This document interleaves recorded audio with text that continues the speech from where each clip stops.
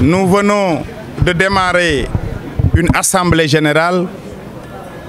constituant la reprise des activités politiques après cette pause imposée par ce Covid. Et vous avez constaté tous que l'Assemblée générale a été suspendue parce que les femmes de Dakar ont fait une motion consistant à proposer comme Pape Diop candidat de l'opposition à la mairie de Dakar pour les élections locales à venir. Et elles ont continué en même temps que les cadres de Dakar et les adultes de Dakar et la jeunesse de Dakar pour inviter l'opposition à s'unir partout au Sénégal spécialement à Dakar autour du président Pape Diop dans le seul but de poser les premiers jalons de la victoire de, des élections présidentielles de 2022. Car les femmes de Dakar et les responsables de Dakar pensent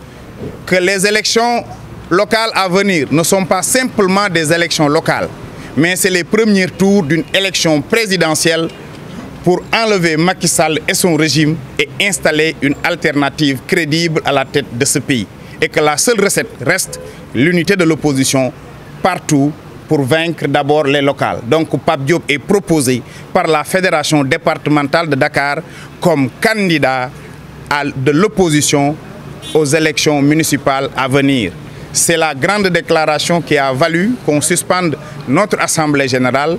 pour proposer Pape Diop comme candidat. Certainement, d'autres me diront pourquoi Pape Diop Parce qu'il a l'expérience, parce que nous restons convaincus que pour aller à ces élections, il nous faut une unité et l'homme en personne symbolise le consensus et peut mobiliser toute l'opposition autour de sa personne